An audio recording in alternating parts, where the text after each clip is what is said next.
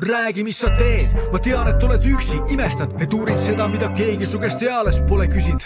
kas tapad ära ennast tööga, õnneks ees on vabad päevad, kui su pingutused tänaseks on möödas, kuigi läbitud on palju, ees on parasjagu käimist. see on omamoodi rütm, mis vaimset tasakaalu häirib ja sellel aastal vahel võimatu on tööga teha algust, kui see venib selle sammusena mööda seda sammust. pead siiski enda unelmates plaani, mille näitamiseks kinolinnas tarvis on veel suuremat ekraani.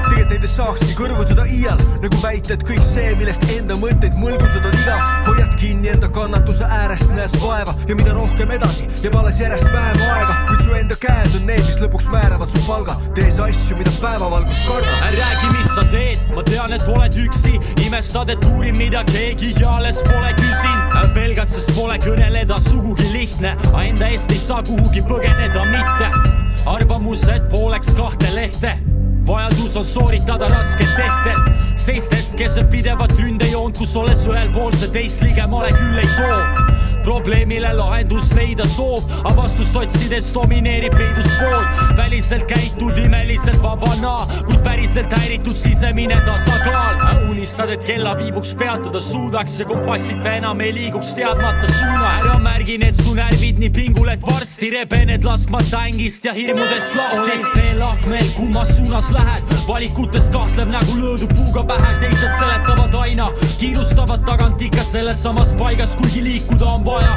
olles teel ahmel, kummas suunas lähed, valikutes kahtlev nägu löödub puuga pähe, teised seletavad aina, kiirustavad tagant ikka selles samas paigas, kuigi liikuda on vaja ma panen fakti ette, kui sisemise tulehakatuseks murran taktikeppe, ma lihtsalt eksimiseks ei jäta ruumi, et mitte langeda kui turg pärast buumi. haaran lõuendi, valgeks maalin musta, takistustest ennast läbi lõikan nagu truspa, haaran oma jalad, võta nad persest välja, kui koha peale jääd, siis sa jääd lihtsalt nälga teeme Koidulad kõik selgeks, et läbi elu liuelda saaks sulena ülikergelt. oma sitas elus pole kedagi süüdistada, kui eesmärgiks on sul ainult proovida üritada. kummas suunas lähed, küsimus retooriline, kas jahid päevavalgel või eksled pimeduses, selles vahe ongi loogiline, kui sa tood vabandusi, ma toon tulemuse. vahetevahel sooviks peas selgust, vaata kui haade erksust telkust, et teada vastust küsimustele saada, nagu näiteks, kas üldse peaksin tegema siin loos kaasa mõne reaga. ma kui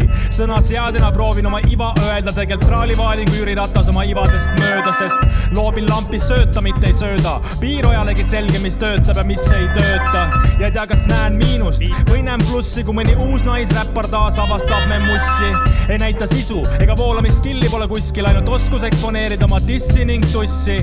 see, kas ma pime või teised eiravad tõde, räpp pole enam muud kui pornoliini telefonikõne. Vaikimine on kuld, rääkimine on hõbe, aga kas raiskan oma kuusteist rida, kui palub seda sõbe?